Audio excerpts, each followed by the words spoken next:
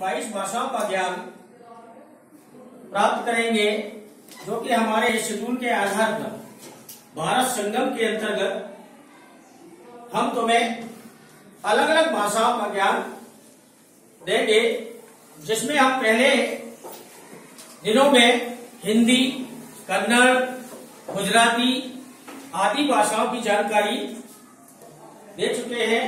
और आपको भी मालूम होगा कि अन्य भाषाओं में किस प्रकार से बातचीत की जा सकती है।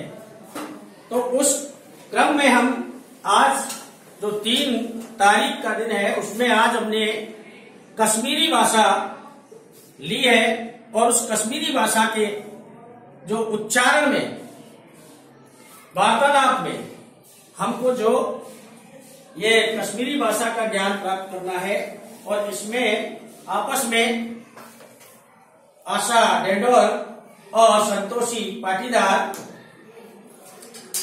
अभिवादन करेंगे दोनों जने।